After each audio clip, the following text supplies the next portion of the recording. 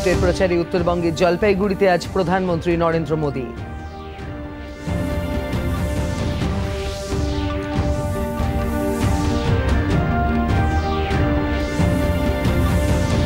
উপরাষ্ট্রপতি জগদীপ ধনখড় আইআইএম বোধগয়ার ষষ্ঠ সমাবর্তন অনুষ্ঠানে যোগ দেবেন।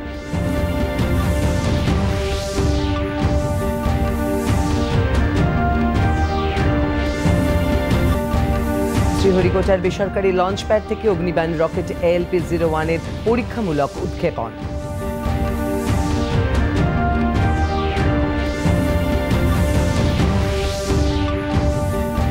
সন্দেশখালির পর ফের আক্রান্ত কেন্দ্রীয় এজেন্সি। এনআইএ আধিকারিকদের উপর হামলার তীব্র নিন্দা।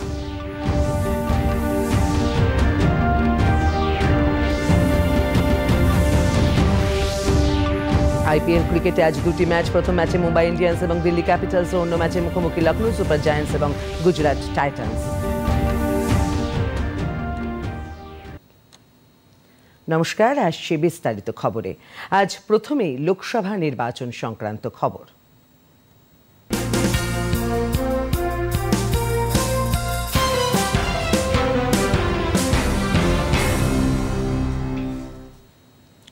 নির্বাচনের দিন যত এগিয়ে আসছে, তত জমে উঠছে প্রচার। বিভিন্ন রাজনৈতিক দলের নেতা নেত্রীরা দলীয় প্রার্থীর সমর্থনে প্রচার করছেন। প্রবীণ বিজেপি নেতা তথা প্রধানমন্ত্রী নরেন্দ্র মোদীও প্রতিদিন দেশের নানা প্রান্তে একাধিক জনসভা করছেন। আজ উত্তরবঙ্গের জলপাইগুড়িতে ভোটের প্রচারে অংশ নেবেন প্রধানমন্ত্রী। বিজেপি প্রার্থী জয়ন্ত রায়ের সমর্থনে প্রচার করবেন তিনি। এছাড়াও শ্রী মোদী আজ বিহারের নওয়াদায় বিজেপি প্রার্থী বিবেক ঠাকুরের সমর্থনে এক প্রচার সভায় অংশ নেবেন। মধ্যপ্রদেশেও আজ ভোটের প্রচার করবেন প্রধানমন্ত্রী। সন্ধ্যায় জব্বলপুরে একটি রোড শোতেও অংশ নেবেন। নির্বাচনী প্রচারে প্রধানমন্ত্রী নরেন্দ্র মোদী উত্তরপ্রদেশের গাজিয়াবাদে একটি রোড শোয়ে অংশ নেন। রাস্তার দুধারে উৎসাহী জনগণের ভিড় ছিল চোখে পড়ার মতো।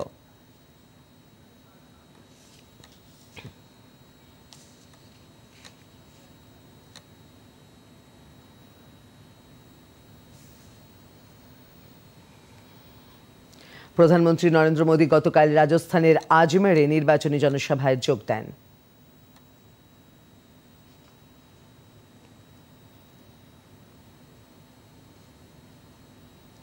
দুর্নীতির বিরুদ্ধে সরব হন প্রধানমন্ত্রী। তিনি বলেন, কিছু মানুষ, সাধারণ মানুষের টাকা লুট করাকে তাদের বংশানুক্রমিক অধিকার বলে মনে করেন। লোকসভা নির্বাচনের প্রথম দফার প্রচারে গতকাল উত্তরপ্রদেশের সাহারানপুরে নির্বাচনী জনসভায় যোগ দেন প্রধানমন্ত্রী নরেন্দ্র মোদী।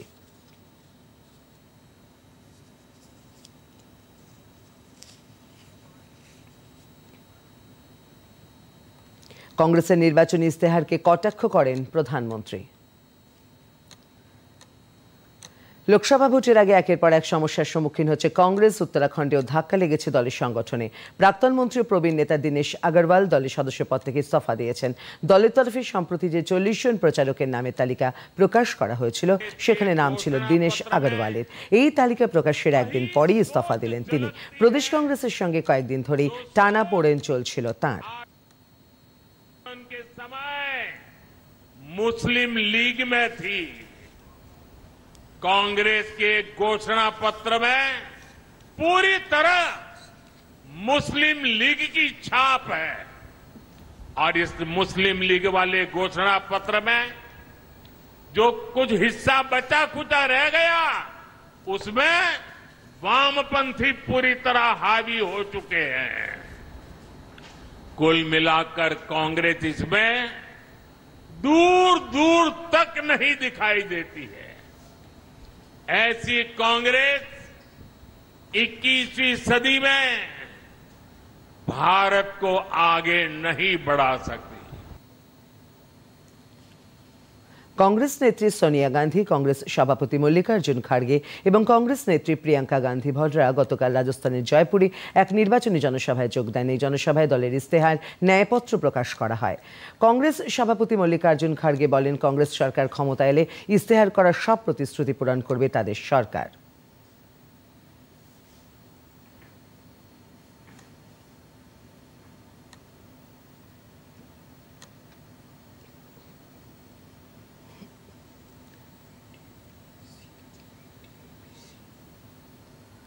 কংগ্রেস নেত্রী সোনিয়া গান্ধী বলেন দেশ নবজাগরণের অপেক্ষায় রয়েছে তার দলের কর্মীরা ইস্তেহারে করা সব গ্যারান্টি পূরণ করবে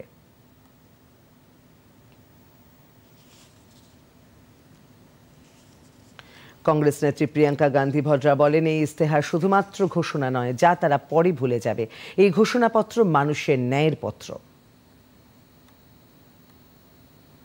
अगर हमारी सरकार आई जो हमारी पाँच न्याय गारंटी है और उसके तहत 25 गारंटी हमने आपको करके देने का वायदा कर रहे हैं।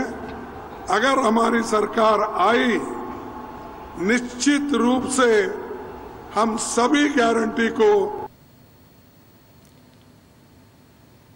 आज देश महान जनता का आपकी जागरूकता का रास्ता देख रहा है। इसीलिए भारतीय राष्ट्रीय कांग्रेस ने अपने न्याय घोषणा पत्र को पाँच हिस्सों में बांटा है। मुझे पूरा विश्वास है कि कांग्रेस के बहादुर और मेहनती साथी अपने फ़र्ज़ निभाते हुए इसके एक एक संकल्प को एक एक गारंटी को देश के कोने कोने तक पहुँचाने में कोई कोर कसर नहीं छोड़ेंगे। हमने न्याय पत्र का नाम दिया है, ताकि ये स्पष्ट हो कि ये एक सिर्फ़ घोषणाओं का, की एक सूची नहीं है। जिन्हें हम चुनाव के बाद भूल जाएंगे ये एक संघर्ष की आवाज है इस देश की आवाज है जो आज न्याय मांग रही है communist party of India CPI তাদের নির্বাচনী ইস্তেহার প্রকাশ করেছে নতুন দিল্লিতে দলের সদর দফতরে এর আনুষ্ঠানিক প্রকাশ করেন দলের সাধারণ সম্পাদক ডি রাজা তিনি বলেন তাদের দল গণতন্ত্র রক্ষায় কাজ করবে Our party, the CPI, thinks if we have to save our republic as secular democratic republic, we have to save our constitution. Then only we can think of democracy. Already democracy is in peril. Parliament is made redundant and the government is becoming more and more authoritarian. Trinamool Congress নেত্রী রাজ্যের মুখ্যমন্ত্রী মমতা বন্দ্যোপাধ্যায় গতকাল নির্বাচনী প্রচারে উত্তর দিনাজপুরের রায়গঞ্জের হেমতাবাদে নির্বাচনী জনসভায় যোগ দেন। তিনি বলেন পশ্চিমবঙ্গের তৃণমূল ইন্ডি জোটের সঙ্গে যোগ দেবে না। বিজেপির বিরুদ্ধে একাই লড়বে তার দল। এখানে আমাদের লড়াইটা বিজেপির বিরুদ্ধে ডাইরেক্ট। দিল্লিতে ইন্ডিয়ান অ্যালায়েন্সের সাথে থাকলেও আমার আমার দেওয়া নাম এখানে এখানে সিপিএমের সাথে আমরা নেই, কংগ্রেসের সাথে আমরা নেই, ওরা বিজেপির সাথে আছে, তৃণমূলের এত বুথকর্মী অ্যারেস্ট এত নেতা অ্যারেস্ট সিপিএম এর কোনো নেতা অ্যারেস্ট হয়েছে, সবচেয়ে বড় চোরকা পার্টি, চৌত্রিশ বছর খুন করে জ্বালিয়ে পুড়িয়ে কংগ্রেসের জোড়া মার্ডার করার নেতারা অ্যারেস্ট হয়েছে? হয়নি। যত রাগ তৃণমূলের ওপরে, কারণ জানে তৃণমূলের গ্যারেন্টি, এনআরসি আসলে আমরা করতে দেব না, আমরা মানুষকে ভাগাতে দেব না। তৃণমূল কংগ্রেস নেত্রী, রাজ্যের মুখ্যমন্ত্রী মমতা বন্দ্যোপাধ্যায় গতকাল ভোটের প্রচারে দক্ষিণ দিনাজপুরের তপনে এক জনসভায় যোগ দেন। মুখ্যমন্ত্রী বলেন, বাংলার বিজেপি সাংসদরা প্রাণপণে বাংলার প্রাপ্য টাকা আটকাবার চেষ্টা করে গেছে। তারা বাংলার মাটির প্রতি বিশ্বাসঘাতকতা করেছেন। কেউ কেউ দিল্লি থেকে এসে বলছে, দুর্নীতি হয়েছে, তাই টাকা দিচ্ছি না। চ্যালেঞ্জ করছি সুকান্ত বাবুকে ভোট দেওয়ার আগে। বলেননি আপনি আর গদ্দার? বাংলাকে একশো দিনের কাজের টাকা দেয়া যাবে না, বাংলার বাড়ি দেওয়া যাবে না, রাস্তা দেয়া যাবে না, শাড়ি সারনা, এসব নিয়ে কথা বলেছেন কোনোদিনও? আপনারা বাংলার টাকা বন্ধ করেছেন। আপনারা বাংলার গদ্দার, আপনারা বাংলার কুলাঙ্গার, আপনারা বাংলাকে ভালোবাসেন না, আপনারা বাংলার মাটিকে ভালোবাসেন না, আপনারা উত্তরবঙ্গকেও ভালোবাসেন না, আপনারা দক্ষিণবঙ্গকেও ভালোবাসেন না। প্রচণ্ড গরম উপেক্ষা করেই পশ্চিম মেদিনীপুরে ভোটের প্রচারে ব্যস্ত রাজনৈতিক দলগুলি। জেলা থেকে একটি প্রতিবেদন। গ্রীষ্মের প্রখর দাবদাহের মধ্যেই অষ্টাদশ লোকসভা নির্বাচনে মেদিনীপুর কেন্দ্রের প্রচার জোর কদমে চলছে। জেলার তাপমাত্রা ইতিমধ্যেই চল্লিশ ডিগ্রি সেন্টিগ্রেড অতিক্রম করেছে। সকাল দশটার পর প্রখর রোদে বাড়ির বাইরে থাকা অসহ্য হয়ে উঠছে। তাই এই সময়টাতেই সবাই একটু শীতলতার খোঁজে গৃহমুখী হয়ে পড়ছেন। এই কেন্দ্রের তৃণমূল কংগ্রেসের প্রার্থী বিধায়ক জুন মালিয়া ছোট ছোট জনসভা এবং বিভিন্ন স্থানে মিছিলের মাধ্যমে প্রচারের কাজ চালিয়ে যাচ্ছেন। এগারোটার মধ্যে একটা ফেজ অফ প্রচার শেষ করে আবার চারটে থেকে রাত অবধি করার। কারণ এই যে মাঝখানে যে বারোটা থেকে তিনটে আমার মনে হয় না কেউ বেরোতে পারবে। কারণ যেই বেরোবে একটা লু লাগার সম্ভাবনা থাকে হিট স্ট্রোক হওয়ার সম্ভাবনা থাকে এবং দলের মধ্যে আমাদের অনেক সিনিয়র মেম্বাররা আছেন। এমনকি যারা এসে অ্যাটেন্ড করবেন কোনো সভা স্ট্রিট কর্নার বা বাড়ি থেকেও যারা বেরোবেন যাদের সঙ্গে আমি জনসংযোগ করব তাদেরও তো কষ্ট হবে। সুতরাং আমরা এইভাবেই ফলো করব। অন্যদিকে এই কেন্দ্রের ভারতীয় জনতা পার্টির প্রার্থী বিধায়ক অগ্নিমিত্রা পল এখনও পর্যন্ত কোনো বড় জনসভা না করলেও দাবদাহের মধ্যেই ছোট ছোট মিছিলের মাধ্যমে তার প্রচারের কাজ চালিয়ে যাচ্ছেন। দুপুরবেলা বারোটা থেকে চারটে অবধি কোনো প্রোগ্রাম না রাখা আউটডোর শুধু ইনডোর বৈঠক হবে। এবং বিশিষ্ট মানুষের সঙ্গে দেখা কেউ যদি দেখা করতে চায় কারোর অসুবিধে কোথাও সমস্যা সেগুলো নিয়ে কথা বলা। আর বাকি সময়টা শুধু প্রচার। খাওয়া দাওয়া একদম হালকা করা। এই কেন্দ্রের বাম প্রার্থী বিপ্লব ভট্ট বিভিন্ন স্থানে প্রচারের কাজ চালাচ্ছেন। তিনি প্রধানত বাড়িতে বাড়িতে গিয়ে প্রচার অভিযান চালানোতেই বেশি জোর দিয়েছেন। আমরা কর্মীদের বার্তা দিচ্ছি বারবার জল খান। অ্যাভয়েড করুন রোদটা সকালের দিকে প্রচার করুন বিকেলের দিকে প্রচার করুন। এবং যতটা সম্ভব নিজেকে বাঁচিয়ে মানুষের কাছে যান, মানুষের সঙ্গে কথা বলুন। সাবধানতা অবলম্বন করেই আমাদের কর্মীরা তারা কাজকর্ম করছেন। সকাল থেকে বেরোচ্ছেন, ছটা থেকে নটা, দশটা পর্যন্ত বাড়ি বাড়ি যাচ্ছেন, বিকেলবেলা বেরোচ্ছেন, সন্ধ্যেবেলা বেরোচ্ছেন। ফলে দুপুরের দিকটা আমাদের, আমরা প্রার্থী, আমার উপায় নেই। ফলে শিডিউল প্রোগ্রামে আমাকে যেতে হচ্ছে, কারণ পারমিশন সেভাবেই দিয়েছেন। ফলে যতটা সম্ভব কর্মীদের সচেতন করা হচ্ছে, সতর্কভাবে প্রচার করুন। ভোটের বিস্তারিত খবর নিয়ে কলকাতা দূরদর্শনে শুরু হচ্ছে অনুষ্ঠান জনাদেশ। শুধু ভোটের খবর, আলোচনা, বিশ্লেষণ। লোকসভা নির্বাচনের প্রতিটি খুঁটিনাটি, জনাদেশ দু হাজার চব্বিশ। বারোই এপ্রিল থেকে প্রতিদিন সন্ধে সাড়ে সাতটায় দেখুন স্টুডিও থেকে সরাসরি শুধুমাত্র ডিডি বাংলায়। নির্বাচন সংক্রান্ত নানা খবরের পর এবার যাই অন্যান্য কিছু খবরে। উপরাষ্ট্রপতি জগদীপ ধনখড় আজ বিহার সফরে আইআইএম বোধগয়ার ষষ্ঠ সমাবর্তন অনুষ্ঠানে যোগ দেবেন তিনি। পড়ুয়াদের পদক ও ডিগ্রি প্রদান করবেন তিনি। সফরকালে উপরাষ্ট্রপতি গয়ার মহাবোধি মন্দিরেও যাবেন। অগ্নিবায়ন রকেটে এলপি জিরো ওয়ানের পরীক্ষামূলক উৎক্ষেপণ হচ্ছে আজ। শ্রীহরিকোটার সতীশ ধাওয়ান মহাকাশ কেন্দ্রের প্রথম বেসরকারি লঞ্চ প্যাড থেকে এই উৎক্ষেপণ করা হয়। অগ্নিকুল কসমস নামে একটি সংস্থা এই কাজের সঙ্গে যুক্ত।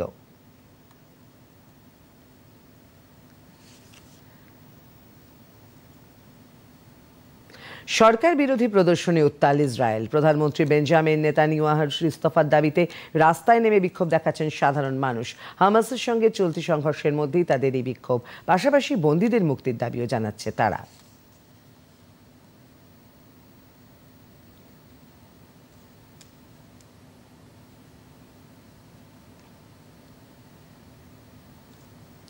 এখন একটু বিরতি, পরে রয়েছে আরও খবর। আবার শপিং বাবা আপনার আদরে এটি বাঁদর হয়ে যাচ্ছে। লিমিটে করলে তো খারাপ কিছু হয় না। লিমিট ছাড়া আপনার কার্ডে শপিং করবে। হ্যাড অন আছে যে।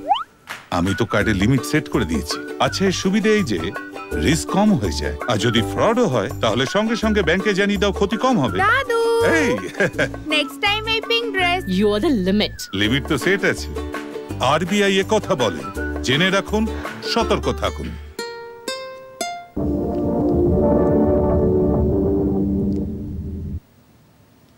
সন্দেশখালীর পর রাজ্যে ফের আক্রান্ত হলো কেন্দ্রীয় এজেন্সি। এবার হামলা হলো জাতীয় তদন্ত সংস্থা এনআইএ এর ওপর। দু হাজার বাইশ সালের ডিসেম্বর মাসে পূর্ব মেদিনীপুরের ভূপতিনগরে ভয়াবহ বিস্ফোরণে তিনজনের মৃত্যু হয়েছিল। সেই ঘটনার তদন্তে গতকাল ভোররাতে ভূপতিনগরে গিয়ে দুজনকে জিজ্ঞাসাবাদের জন্য আটক করে এনআইএ। তাদের নিয়ে আসতে গেলে গ্রামবাসীরা এনআইএ আধিকারিক ও কেন্দ্রীয় বাহিনীকে ঘিরে ফেলে বিক্ষোভ দেখাতে থাকেন। তাদের ছোঁড়া ইটে ভেঙে চুরমার হয়ে যায় গাড়ির কাঁচ। আহত হন একজন এনআইএ আধিকারিক। তুমুল উত্তেজনার সৃষ্টি হয়। সন্দেশখালীর মতোই উত্তেজিত জনতার অধিকাংশই ছিলেন মহিলা। এই ঘটনাকে ঘিরে ব্যাপক চাঞ্চল্যের সৃষ্টি হয়েছে।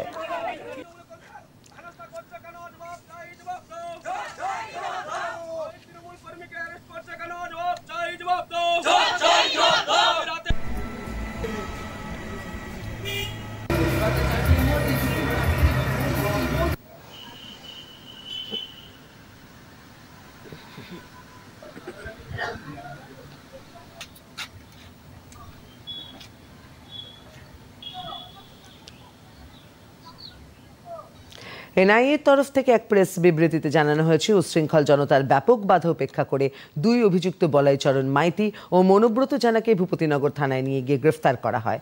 সেখান থেকে তাদের কলকাতা নিউ টাউনে নিয়ে আসা হয়েছে। তাদের বিশেষ এনআইএ আদালতে পেশ করা হয়। এই দুজন বিস্ফোরণের সঙ্গে সক্রিয়ভাবে জড়িত ছিল বলে এনআইএ দাবি করেছে। ভূপতিনগরে এনআইএ আধিকারিকদের উপর হামলার ঘটনার তীব্র নিন্দা করলেন রাজ্যপাল ডক্টর সিভি আনন্দ বোস। এই ঘটনায় কড়া পদক্ষেপের আশ্বাস দেন তিনি। Strong action will be taken. This tendency of intimidating the investigating agencies is deplorable, will not be allowed, cannot be allowed. We will deal with it with an iron hand.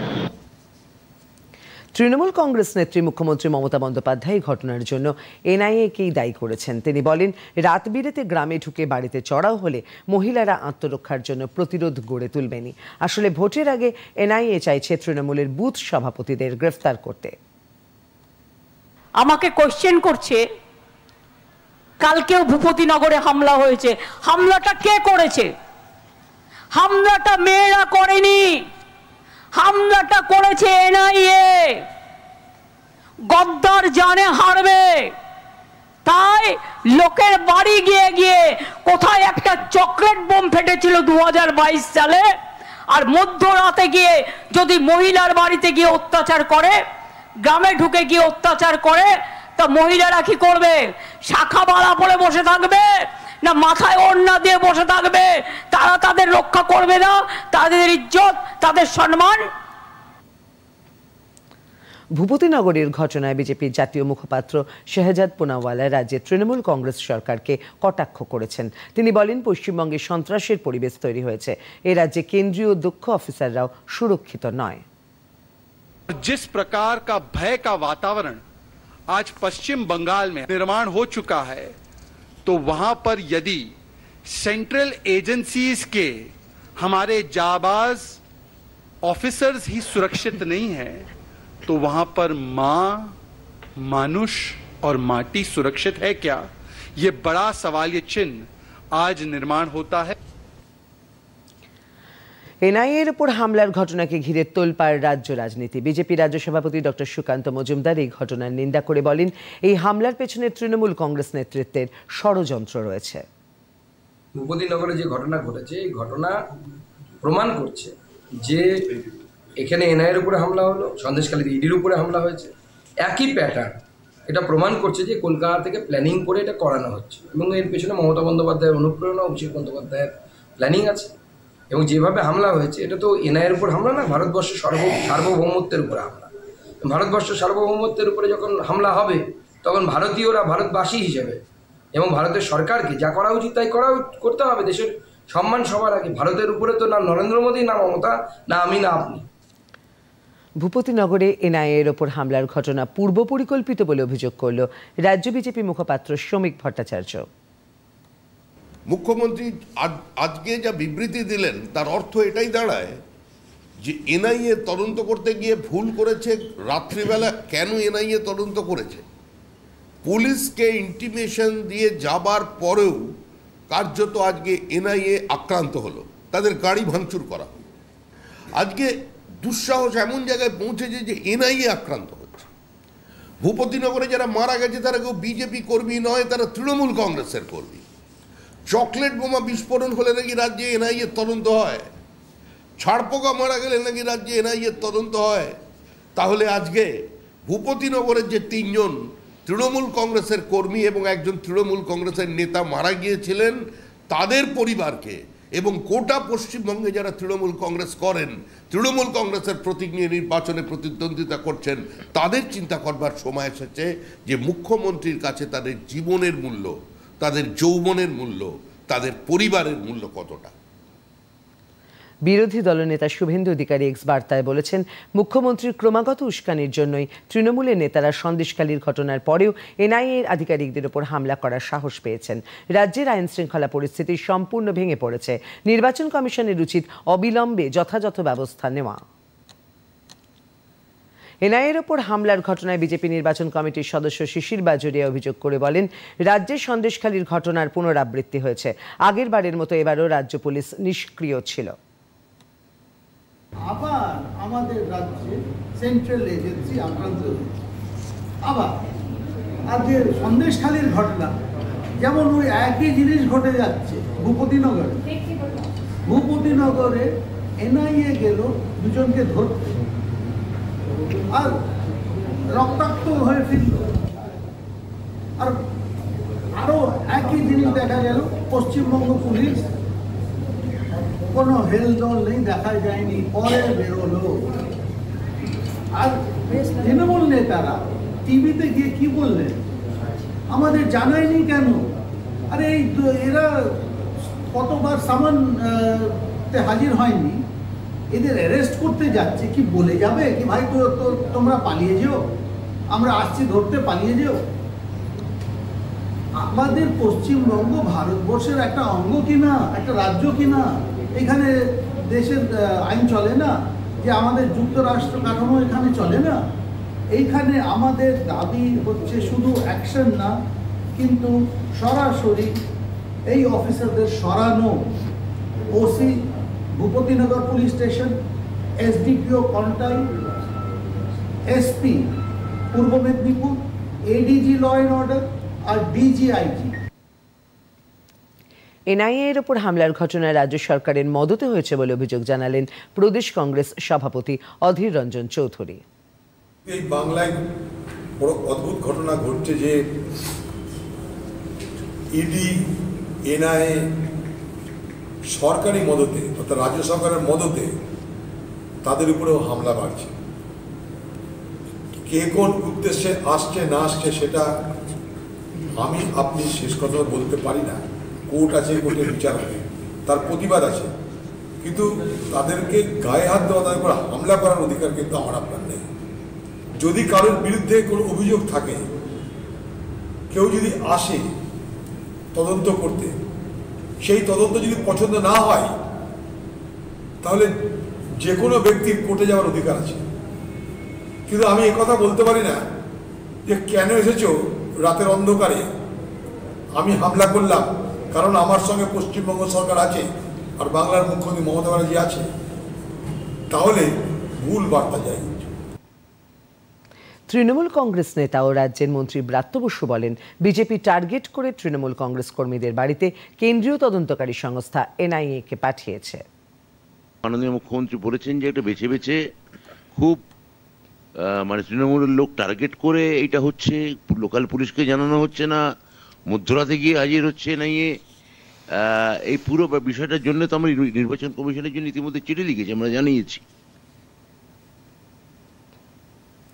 Vote আসে vote যায় দাবি একই থেকে যায় পুরুলিয়ার পাঁড়ির কুমারডিটোলার বাসিন্দাদের।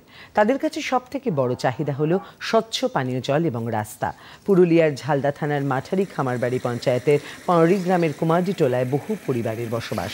এই গ্রামের মানুষের পানীয় জলের জন্য এখনও ভরসার নদী। গ্রীষ্মে প্রায় শুকনো নদীবক্ষে গর্ত খুঁড়ে জল সংগ্রহ করেন গ্রামের মহিলারা। এরপর অনেকটা পথ হেঁটে সেই জল নিয়ে পরিবারের তৃষ্ণা মেটান তারা। মারাত্মক সমস্যা রয়েছে গ্রামে যাবার রাস্তা নিয়ে। এখনও গ্রামে ঢোকার জন্য কোনো রাস্তা নেই। ফলে কেউ অসুস্থ হয়ে পড়লে বা আসন্ন প্রসবা মহিলাদের ডুলিতে করে প্রায় এক কিলোমিটার দূরে পাকা রাস্তা পর্যন্ত নিয়ে যেতে হয়। সেখানে দাঁড়িয়ে থাকে অ্যাম্বুলেন্স। গ্রামে ঢোকার উপায় নেই অ্যাম্বুলেন্সের। গ্রামবাসীদের দাবি তাদের এই সমস্যাগুলির দ্রুত সমাধান হোক। দীর্ঘ কয়েক বছর ধরে হাহাকার পানীয় জলের। গ্রামবাসীরা চাইছেন একটু পানীয় জল। প্রশাসনের কাছে দরবার করলেও মিলছে শুধুই আশ্বাস।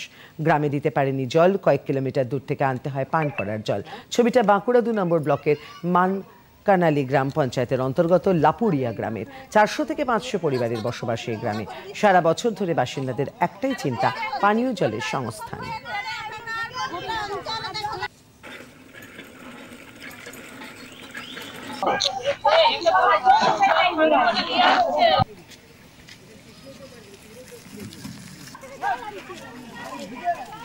আমরা জানাই আমাদের ইয়ে সমস্যা, কিন্তু কেউ তো গুরুত্ব দিচ্ছে না। তাহলে এবার আমরা মেয়ে মানুষ, আমরা আর কি করতে পারি? কত দূর যেতে পারি? প্রায় দু কিলোমিটার, তিন কিলোমিটার। সেটা এবারে কতটা কষ্ট হয়, যারা আনে তারা জানে যে কতটা কষ্ট হয়। কোনো দিনের জন্য আমরা টাইমগুলো জল পাইনি। খালি কল লাগিয়েছে। আর রাস্তাগুলো করছে অবজেকশন করছি, যখনই অবজেকশন দিচ্ছি যখন রাস্তা করছে কিন্তু জল আর আসছে না। জল আমাদের প্রায় দু তিন কিলোমিটার দূরে আনতে হয়, ছেলেরা জল আনে, মেয়েরা আনতে পারে না, এত দূর দূর থেকে। আর যারা বয়স্ক আছে, তারা তো জল পায়নি, একদিন জল কেউ এনে দিলে, চার দিন, পাঁচ দিন সেই জলটা খায়। কলকাতা মেট্রোর পার্পল লাইন অর্থাৎ জোকাস প্ল্যানেট লাইনের ভিক্টোরিয়া স্টেশনের নির্মাণ কাজ শুরু হলো। এই স্টেশনটি মূলত ভূগর্ভস্থ স্টেশন হবে। স্টেশনটি সম্পূর্ণ হলে শহরের বিভিন্ন প্রান্ত থেকে খুব সহজেই যাত্রীরা ভিক্টোরিয়ায় পৌঁছতে পারবেন।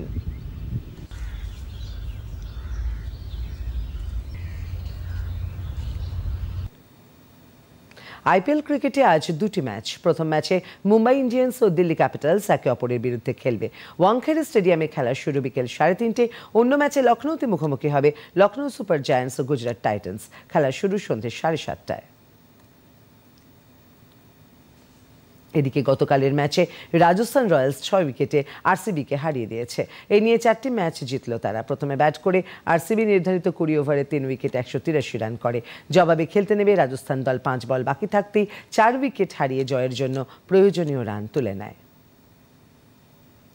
আলিপুর আবহাওয়া দফতর জানিয়েছে, আকাশ আংশিক মেঘলা থাকবে, গরম এবং অস্বস্তিকর আবহাওয়া থাকবে। এখন দেখে নেব রাজ্যের কয়েকটি জায়গার সর্বোচ্চ ও সর্বনিম্ন তাপমাত্রা। দার্জিলিং এর সর্বোচ্চ তাপমাত্রা তেইশ ডিগ্রি, সর্বনিম্ন বারো ডিগ্রি সেলসিয়াস। জলপাইগুড়ি সর্বোচ্চ চৌত্রিশ ডিগ্রি, সর্বনিম্ন তেইশ ডিগ্রি সেলসিয়াস। কোচবিহারের সর্বোচ্চ পঁয়ত্রিশ ডিগ্রি ও সর্বনিম্ন তেইশ ডিগ্রি সেলসিয়াস। মালদা সর্বোচ্চ উনচল্লিশ ডিগ্রি ও সর্বনিম্ন ছাব্বিশ ডিগ্রি সেলসিয়াস। বহরমপুর সর্বোচ্চ সাঁত্রিশ ডিগ্রি ও সর্বনিম্ন সাতাশ ডিগ্রি সেলসিয়াস। শ্রীনিকেতনে যথাক্রমে উনচল্লিশ ও পঁচিশ ডিগ্রি সেলসিয়াস। আসানসোলে সর্বোচ্চ চল্লিশ ও সর্বনিম্ন পঁচিশ ডিগ্রি সেলসিয়াস। বর্ধমানে সর্বোচ্চ উনচল্লিশ ডিগ্রি এবং সর্বনিম্ন ছাব্বিশ ডিগ্রি সেলসিয়াস। পুরুলিয়ায় সর্বোচ্চ একচল্লিশ ডিগ্রি এবং সর্বনিম্ন বাইশ ডিগ্রি সেলসিয়াস। বাঁকুড়ায় সর্বোচ্চ একচল্লিশ ডিগ্রি এবং সর্বনিম্ন পঁচিশ ডিগ্রি সেলসিয়াস। কৃষ্ণনগরে সর্বোচ্চ আটত্রিশ ডিগ্রি এবং সর্বনিম্ন পঁচিশ ডিগ্রি সেলসিয়াস। দীঘায় সর্বোচ্চ পঁয়ত্রিশ ডিগ্রি, সর্বনিম্ন ছাব্বিশ ডিগ্রি সেলসিয়াস। ডায়মন্ড হারবারে সর্বোচ্চ আটত্রিশ ডিগ্রি এবং সর্বনিম্ন আঠাশ ডিগ্রি সেলসিয়াস। কলকাতায় সর্বোচ্চ সর্বনিম্ন তাপমাত্রা সাঁত্রিশ দশমিক চার ডিগ্রি ও আঠাশ দশমিক পাঁচ ডিগ্রি সেলসিয়াস। শেষ করার আগে শীর্ষ সংবাদ আরও একবার। উপরাষ্ট্র ভোটের প্রচারে উত্তরবঙ্গের জলপাইগুড়িতে আজ প্রধানমন্ত্রী নরেন্দ্র মোদী।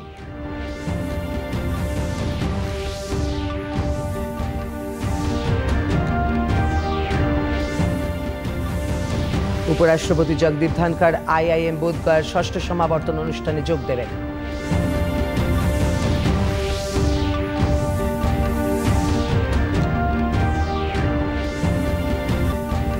শ্রীহরিগোটার বেসরকারি লঞ্চ প্যাড থেকে অগ্নিবান রকেট এএলপি জিরো ওয়ানের পরীক্ষামূলক উৎক্ষেপণ আজ।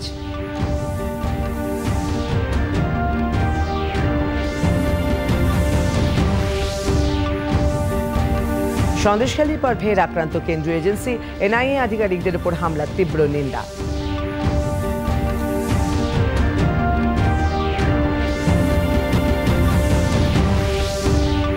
আইপিএল ক্রিকেটে আজ দুটি ম্যাচ। প্রথম ম্যাচে মুম্বাই ইন্ডিয়ান্স এবং দিল্লি ক্যাপিটালস অন্য ম্যাচে মুখোমুখি লখনৌ সুপার জায়ান্টস এবং গুজরাট টাইটান্স।